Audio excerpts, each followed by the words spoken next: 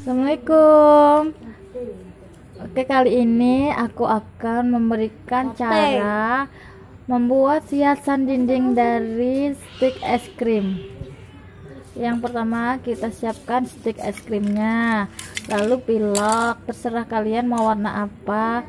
Lem tembak. Kalau ada tembakannya sama tembakannya, kalau nggak ada tembakannya sama sama lilin juga bisa dan juga bunga-bunga untuk hiasan terakhirnya. Ya kali ini kita mengelemnya pakai pakai lilin aja.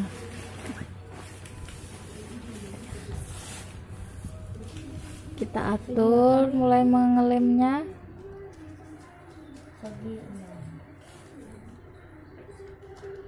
oke kita bakar lalu kita olesin di stick kita bakar lagi. Kok nggak lengket ya kayaknya ini? Kayaknya salah deh itu. Kayaknya lain lem deh. Oh ternyata itu sedotan. Ya om salah ambil.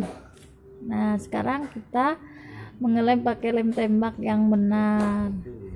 Nah, kita lemi dibuat berbentuk segi enam. Kalian mau bentuk segitiga atau kotak juga boleh.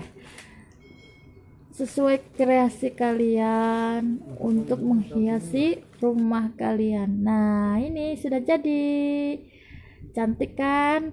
Sudah dilem bunga-bunganya. Wassalamualaikum warahmatullahi